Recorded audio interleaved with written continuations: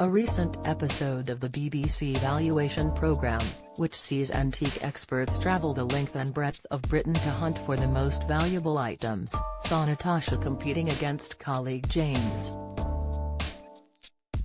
The Antiques Road Trip episode left Natasha stunned as a small bird ornament sold for an impressive £95 after James had purchased it for just £15.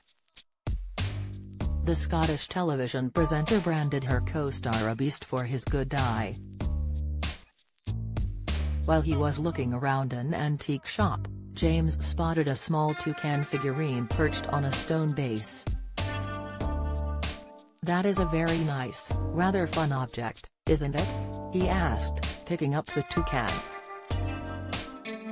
He added, I think it's the toucan, I think that's crystal and I think his body is crystal and I think his tail is crystal.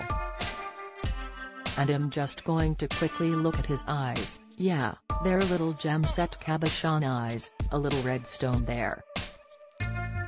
Considering the object, he went on, yeah I don't see why that isn't crystal. If you are a bird person you'd love that, wouldn't you? I think that's great, I think that's a really lovely object. Later, when the items both antique specialists had collected were being sold at auction, James' hunch was proved correct. As soon as the item was presented, the auctioneer commented, interest straight in at £70. 7, 0? A shocked Natasha asked while watching on via screen. As the offers kept coming in, the auctioneer went on to reveal them, £85, £90, £95. Keep going. James said happily, adding, three figures. It was eventually confirmed that the item sold for £95, which pleased James and baffled Natasha. In disbelief about his £80 profit, James commented, I think Jamie comes into it, doesn't it?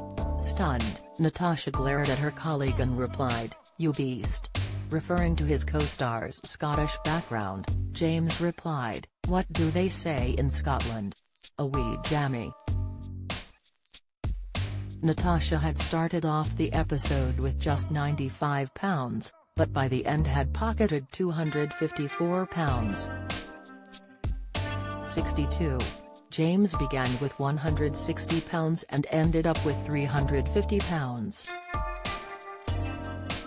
10, making the most money in the installment of the BBC programme. Natasha, 35, is also a regular expert on bargain hunt, which sees her sharing her extensive knowledge on antiques as contestants battle it out for the best auction profits. The TV valuation specialist fronts the series along with other experts, who are assigned a team to assist in each episode. She makes appearances on several other valuation shows, including Antiques Road Trip. Antiques Road Trip is available to watch on BBC iPlayer.